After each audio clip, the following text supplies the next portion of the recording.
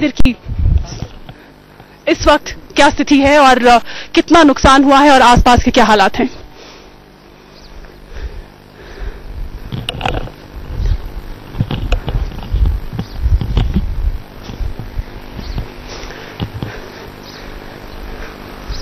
जैसे कि हमने आपको बताया कि उस पहाड़ी से पानी इतने तेज प्रभाव के साथ, इतने तेज वेग के साथ नीचे आया कि कोई कुछ समझ ही नहीं पाया कि ये हो क्या रहा है। किसी को कुछ समझ में नहीं आया। लोग जो ठहरे हुए थे बिल्कुल अवाक रह गए होंगे और उस वक्त उनकी मनस्थिति क्या रही होगी। किसी को संभलने का मौका ही नहीं मिला होगा। आप बिल्कुल भली भांति इस बात का अंदाज़ा लगा सकते हैं क्योंकि उस पहाड़ी से पानी को इतने प्रभाव के साथ नीचे आने में केवल कुछ चुटकियों का वक्त लगा कुछ सेकंड्स का वक्त लगा। और अ, अ, कुछ कुछ कुछ अभी भी बताया जा रहा है कि इस मलबे में अभी भी कुछ शव हैं हमारी दाई तरफ़ भी और हमारी बाईं तरफ़ भी जिन्हें ढका गया है और जो डिकम्पोज हो चुके हैं। संजीव से कहूँगी कि संजीव अब अ, हम यहाँ से आगे बढ़े और थोड़ा मंदिर का रुख करके बताया आपको कि दोनों तरफ़ अ, कुछ शव हैं जो मलबे में दब, दबे हुए हैं जिन्हें डिकम्पोज जो डिकम्पोज हालत में हैं और इसलिए उन्हें ढका गया है।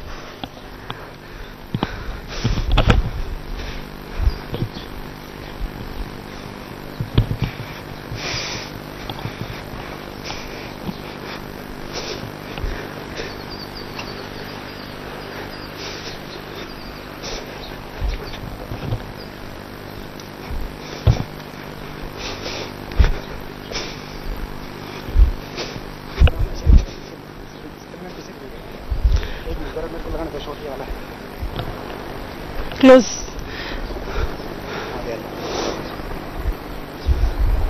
लोगों का राशन, उनका सामान, कई लोग कितना कितना राशन यहाँ पर लेकर आए होंगे? कई लोग दूर दूर से चलकर पैदल यात्रा के लिए आते हैं और यकीनन कई दिनों का इंतज़ाम अपने साथ लेकर आए होंगे। सब तबाह हो गया, सब बर्बाद हो गया। और अभी भी इस मलबे के ढेर में कई डेड बॉडीज हैं, कई शव हैं, हमें ये बताया गया है।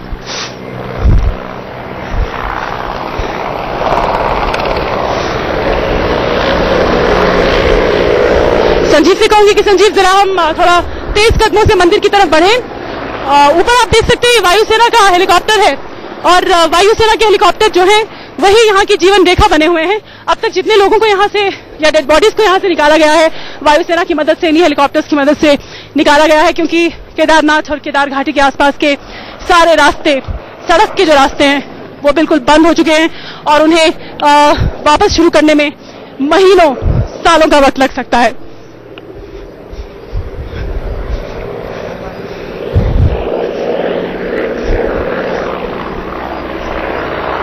हमारी दाईं तरफ़ भी जो ढका हुआ आप कंबल से ढकी हुई शिला देख रहे हैं, ये दरअसल इसके नीचे शव है, जो डिकम्पोज हाल में है और उन्हें ढका गया है यहाँ पर सेना के जवानों द्वारा और एनडीआरएफ के जवानों की तरफ़ की तरफ़ से जो लगातार यहाँ पर राहत और बचाव कार्य में जुटे हुए हैं। आइए अब हम मंदिर से बस थोड़ी ही दूर पर रह गए हैं और आप ये मंदिर का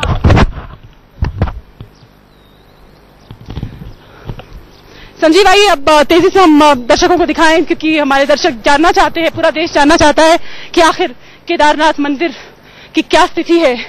सदियों पुराने, पौराणिक महत्व वाले इस मंदिर की क्या हालत है, क्या स्थिति है, ये हम अपने दर्शकों को दिखाते हैं। मैं चाहूँगी कि हमारे कैमरा पर्सन तेज़ी से आए, ताकि हम जल्द से जल्द ये तस्वीरें अपने दर्शकों को दिखा पाए। ये देखिए मैं ये दिखाना चाहूँगी, संजीव ये जहाँ मैं खड़ी हूँ इस वक्त जिस वक्त मैं यहाँ खड़ी हूँ, ये चबूतरा था। पूरा कई फीट ऊँचा चबूतरा था प्लेटफॉर्म था। और इस प्लेटफॉर्म पर मंदिर के ठीक बाहर, यहाँ पर लोग बैठते थे, पूजा करते थे, मंदिर पे घुसने से पहले यहाँ बैठा करते थे। तो ये चबूतरा पूरा सपाट हो गया है। यहाँ सिर्फ़ और सिर्फ़ वो पत्थर और शिलाएँ दिख रही हैं जो पहाड़ से नीचे बहकर आई हैं पानी के उस बेग के साथ। और अगर प्लेटफॉर्म से इस चबूतरे से आगे बढ़े, चबूतरे से आगे बढ़े तो हम हम आपको दिखाएँगे मंदिर की बाकी तस्वीर। आप देख सकते हैं। मेरे पीछे मेरे पीछे संजीव मैं चाहूँगी कि आप कैमरा यहाँ फोकस करें। मेरे पीछे ये पवित्र केदारनाथ मंदिर है, जो तटस्थ खड़ा है। हज़ारों श्रद्धालुओं को, उन लोगों को जो बाबा भोलेनाथ की पूजा करते हैं, उन्हें ये जानकर राहत होगी कि ये मंदिर बिल्कुल सुरक्षित है। देखिए, मंदिर पे कोई आँच नहीं आई है। मंदिर बिल्कुल तटस्थ खड़ा है अटल खड़ा है। मंदिर के ठीक सामने आप नंदी बैल की ये आ, ये मूर्ति देख सकते हैं और ये भी हमें आ, काफ़ी हद तक सुरक्षित दिख रही है। आ, मंदिर को कोई आँच नहीं आई है बिल्कुल सुरक्षित है ये मंदिर।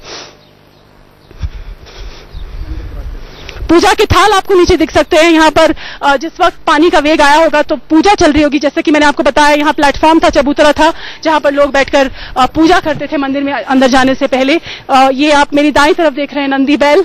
और नंदी बैल की ये मूर्ति, ये स्टैचू बिल्कुल सुरक्षित है। उन तमाम श्रद्धालुओं को, उन तमाम भक्तों को ये जानकर राहत मिलेगी कि मंदिर बिल्कुल सुरक्षित है। अगर पीछे देखें तो ये यहाँ पर, ये ये मंदिर का प्रमुख ढांचा है। देखिए, प्रमुख ढांचा और प्रमुख ढांचे पर लटकी हुई ये फूल मालाएँ। फूल मालाएँ भी आपको बिल्कुल सूखी हुई ज़रूर है, लेकिन लटकी हुई हैं। इन्हें हवा का रुख या पानी का वेग उड़ाकर नहीं ले गया। पताकाएँ आप आप देख सकते हैं पताकाएँ जो हैं वो भी अभी लहरा रही हैं और इस मंदिर के ठीक बाहर कई सारे शव अभी भी पड़े हुए हैं जो डिकम्पोज हाल में हैं, जिनकी तस्वीर हम अपने दर्शकों को नहीं दिखाएँगे क्योंकि ये विचलित कर सकती हैं। और बताया गया है कि मंदिर के अंदर भी कई शव पाए गए थे जिन्हें निकाला गया था, कई शव मंदिर से निकाले गए हैं, मंदिर के बाहर अभी भी कई शव पड़े हैं डिकम्पोज हालत में, लेकिन ये तस्वीरें विचलित कर सकते हैं। हम अपने दर्शकों को नहीं दिखाएँगे ये तस्वीरें।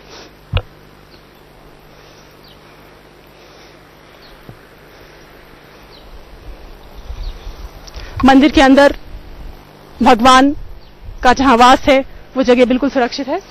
और अगर आपको ये बताएँ कि मंदिर आखिर कैसे सुरक्षित रह गया? इसकी इसकी भी पूरी अ, कहानी जो है इसके पीछे का जो फैक्ट है वो हम आपको दिखाते हैं। जैसा कि हमें अ, पता चला हमें सुनने में आया।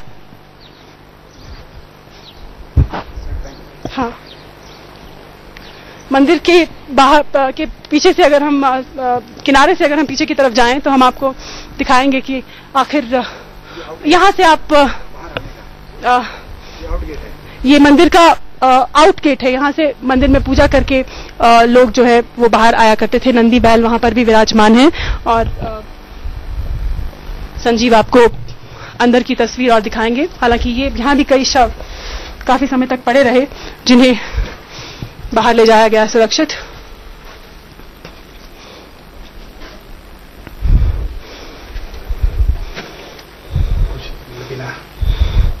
नंदी बैल यहाँ दिख रहे हैं और ये गर्भ, गर्भगृह है।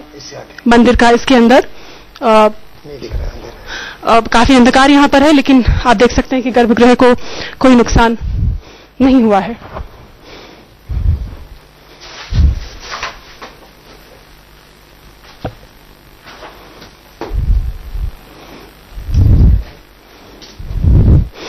नंदी अ, नंदी बैल पर ये वस्त्र चढ़ाए गए ये साड़ी आप देख सकते हैं ये बिल्कुल वैसी की वैसी जस की तस रखी हुई है। बिल्कुल सुरक्षित है। कोई आँच अ, नहीं आई इस बैल को और यहाँ मौजूद जितने भी ढांचे हैं। त्रिशूल आप देख सकते हैं बाबा भोलेनाथ के। अंदर वो छत्र आप देख सकते हैं। बिल्कुल सुरक्षित है थोड़ा टेढ़ा ज़रूर होगा संजीव। मैं चाहूँगी कि आप अंदर वो वो छत छत्र दिखाएँ अ, अंदर गर्भगृह के अंदर। गर्भगृह के अंदर आप वो छत्र देख रहे हैं जो टेढ़ा ज़रूर हो गया है, लेकिन सुरक्षित है।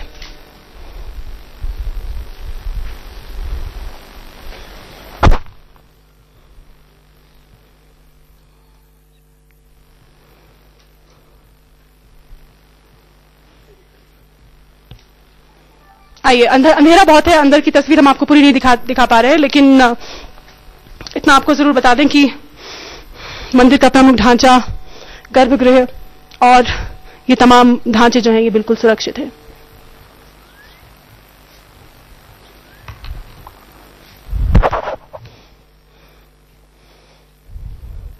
और यहाँ से अब हम अगर बाहर निकले तो अ, संजीव से कहूँगी कि संजीव अ, बाहर की तरफ़ आए। हम अपने दर्शकों को दिखाना चाह रहे थे कि आखिर मंदिर का ये ढांचा जो प्रमुख ढांचा है और जो गर्भगृह है वो इतने भारी पानी और बारिश के प्रभाव के आगे भी सुरक्षित कैसे बचा रह गया ये अ, अभी हम आपको दिखाएँगे। हम मंदिर की दाई ओर से मंदिर के पीछे जा रहे हैं।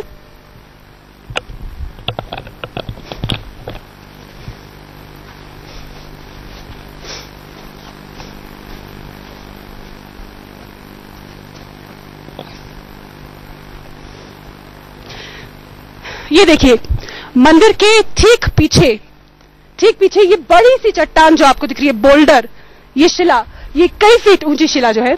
बताया जा रहा है, लोग बता रहे हैं कि जब पानी उधर आया, ऊपर झील से, और ये ये जो सामने आपको रेतीली जगह दिख रही है, उस पहाड़ के बीच में जो कटान बन गई है, वहाँ से जब पानी एकदम कुछ सेकंड के अंतराल में आया तो साथ में ये बड़ी बड़ी चट्टाने लेकर आया, और ये बड़ा बोल्डर नुमा पत्थर भी आया, बड़ी चट्टान आई, और जब सामने से पानी भारी वेग के साथ आ रहा था तो कई चट्टाने अपने साथ लेकर आया और ये बड़े बड़े बोल्डर नुमा पत्थर लेकर आया। और ये जो बड़ा पत्थर है, कई फीट ऊँचा है, ये चट्टान जो है, ये आई और आकर यहाँ पर रुक गई, अटक गई। और इस चट्टान के अटक जाने की वजह से क्या हुआ कि पानी का वेग जो था, वो मंदिर की तरफ़ नहीं आया। मंदिर की तरफ़ आने की बजाय, वो मंदिर के दाई तरफ़ और दाई तरफ़ और बाई तरफ़ से निकल गया। दो रास्ते बनाकर और जिसकी वजह से भारी तबाही मंदिर के दोनों ओर हुई। क्योंकि सारा वेग पानी का जितना भी प्रेशर था वो सारा मंदिर के दाई और बाई और जितने भी बाज़ार थे जितनी भी दुकानें थी जितने भी लोग उस वक्त यहाँ मौजूद रहे होंगे अ, क्योंकि सुबह के सात बजे से थे सत्रह तारीख की सुबह उन लोगों को बहा ले गया होगा अ, सारे स्ट्रक्चर्स को उसने डहा दिया। चारों तरफ़ सिर्फ़ मलबा ही मलबा और पत्थर ही पत्थर हुए। लेकिन इस बोल्डर ने इस बड़ी चट्टान ने इस बड़ी चट्टान ने यहाँ पानी को रोक दिया। और आ, संजीव से कहूँगी कि आप पैन करके दिखाइए संजीव कि कैसे ये पूरा ढांचा इस पत्थर की बदौलत इस चट्टान की बदौलत बिल्कुल सुरक्षित रह गया। ढांचे को और मंदिर के गर्भगृह को कुछ नहीं हुआ। पानी का सारा जितना भी प्रेशर था पूरे प्रेशर के साथ वो दाएँ और बाएँ और मंदिर से निकल गया और पूरी घाटी को उसने तबाह कर दिया नस्त नाबूद कर दिया। कई जाने गई कई लोग मलबे में फंसे रह गए और अभी भी अ, अंदाज़ा लगाना मुश्किल है कि कितने लोग मारे गए होंगे कितने लोग बचाए गए हैं और कितने लोग अभी भी मलबे में फंसे हुए हैं। ये क्या हो गया? साइड करनी पड़ेगी।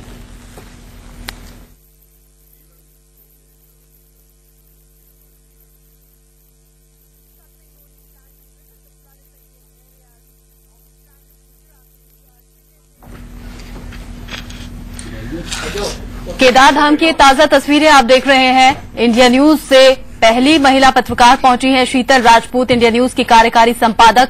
तस्वीरों में आप देख पा रहे हैं किस तरह से विनाश लीला हुई है, किस तरह से तबाही का मंजर चौतरफा देखने को मिल रहा है। जहाँ तक नज़र जाती है, वहीं तक दूर दूर तक तबाही ही नज़र आ रही है।